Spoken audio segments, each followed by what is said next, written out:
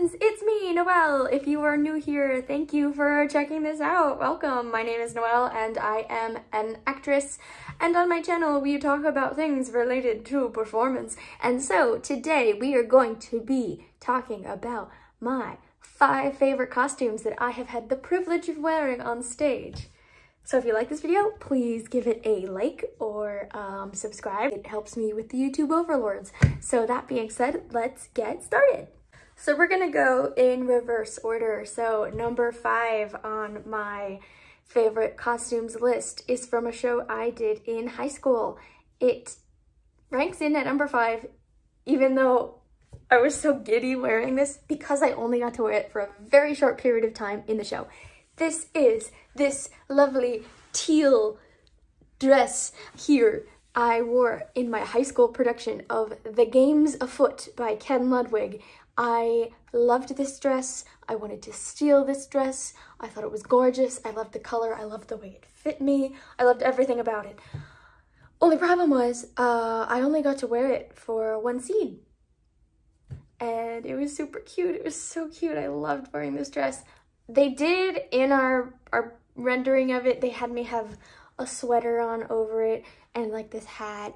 And it wasn't as cute that way but the dress itself still spoke to my soul. So it gets a spot on the list. Number four is also from high school. Ooh, what do you know? When I was in high school, I was in a production of Blithe Spirit by Noel Coward. And um, in this one, I got to wear some interesting clothing. The costume piece that was specifically my favorite in this was my Act 2 outfit, uh, which I will insert a picture of here.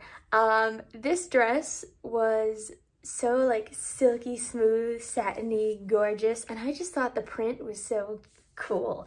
I was playing a psychic medium, and this was her like house call scene where she came to the home after the seance had taken place and everything had sort of gone awry and um, she eats a bunch of cucumber sandwiches.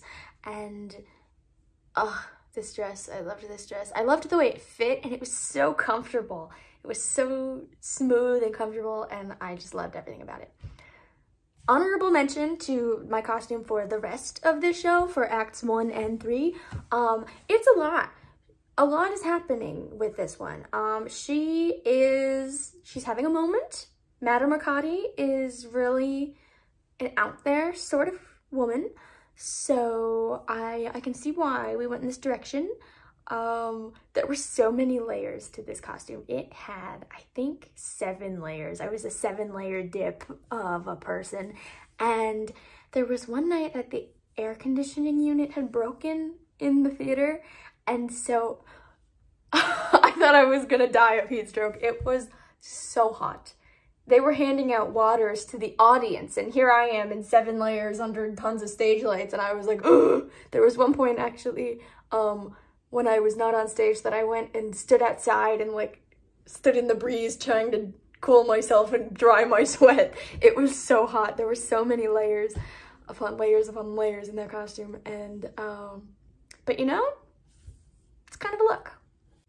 Number three, well, this is six. Number three! This costume comes from a show that I absolutely despise. I am sorry to anyone who disagrees with me and who I may offend by saying this. I I don't like Seussical. I really don't like Seussical. I feel like it's just like Dr. Seuss vomited all over the stage. It's the the plot is not really a plot. It's just a conglomeration of of Dr. Seuss, and I just, I don't particularly enjoy it. But that being said, my costume in the show was really cute.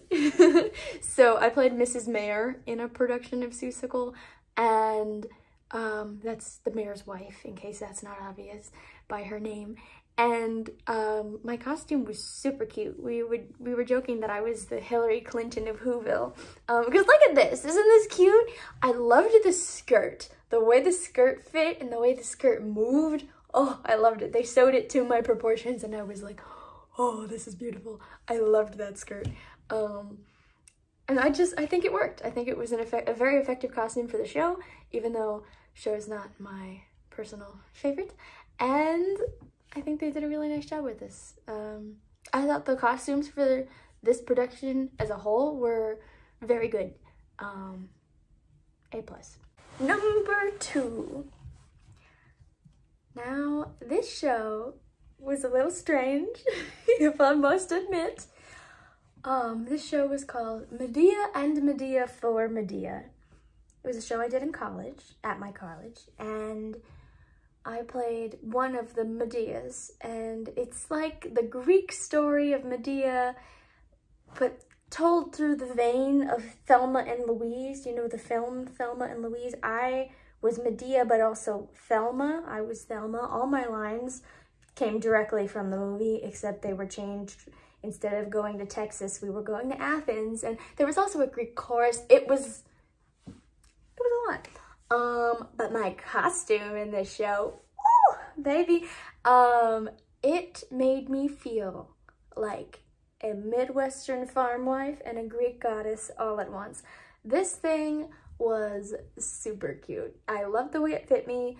The fabric, they dyed by hand. They were all cut from the same cloth. They were all, it was all hand dyed. This was a student designed costume and she created all the costumes actually and I thought they were all pretty neat because everybody's costume was similar but they were all different you know they were all made from the same fabric but they all had their own different design elements and the two Medeas that were Thelma and Louise ours had a little added element we had little corset pieces that the ensemble didn't have um, and I just, there's a lot of thought put into the characterization. I thought it was cute. I liked it a lot. I thought it was really effective in telling the story. And here we are, the moment you've all been waiting for. My favorite stage costume thus far in my theatrical career. Shall we, shall we have a drum roll? In this case, it's a, a thigh roll. My number one favorite costume from my career thus far would be from my college's production of She Kills Monsters, written by Keen I love this costume. Oh my god. When I saw this costume, I need a moment. so I was working in the costume shop or volunteering in the costume shop at my school because I was taking a costumes class and I saw this, this skirt on one of the dress forms and I was like, oh, Nicole's so lucky. She gets to wear that cute skirt because I thought that it was for her character for some reason because she was she was the lead. Nicole was playing Tilly and I was like, yeah, that's definitely Tilly's costume. No, the cute skirt was for me. I was so excited. I was like, oh, I get to wear this? And then, then I saw the rest. And oh my God, they, the, the amount of detail they put into this costume. I was playing a sexy barbarian lesbian woman um, with a big axe and I loved her. Um, I loved playing her. Uh, it's not the part I originally wanted, but in the end, I had a lot of fun with it. The show is set in like a Dungeons and Dragons fantasy world mixed with reality. And so I got to play myself as the demon queen with the axe and also as the 17 year old closeted shy girl. Um, so the costume had all these elements of Dungeons and Dragons of this role play, you know, and I thought it was so neat. They actually had problems with the costuming during this production because some people were not satisfied with their costumes. Meanwhile, I was over the moon, um, and I tried to be as polite about that as possible, you know, but um, there was actually a discussion had because my costume was way sexier than the other sexy sidekicks costumes, so they had to amp hers up because mine was already so like va va boom. Um, what else to be said about She Kills? I love this costume and they actually let me keep it. I was going to ask to buy it off them because my college would do that sometimes. Uh, and then one day I went into my costumes class and the girl who designed the costume, and she did a fantastic job. I She, she turned me into the Dungeons and Dragons demon queen of my own dreams. She was like, hey Noelle, do you want to keep your costume? And I was like, yeah, I want to keep my costume. So they let me keep it and it's in my closet right now. Um, I really love it. I think part of the reason they let me keep it is because they altered it so much to fit me. Um, I'm not, I'm not that big of a person. And so I'm pretty, I'm pretty short. And um, they had to alter the top to fit me better. They shortened the straps considerably and um, made everything pretty skin tight. So by the time they were done with it, what I don't know, it just it it was meant for me. It was it was molded to me at that point. Um, I don't know. And I also, what are the odds they're gonna do another show with this decked out, studded, leathery corset like outfit? You know, not not terribly high. so they let me keep it and uh, I love it. Should I show you? I still have it. One sec.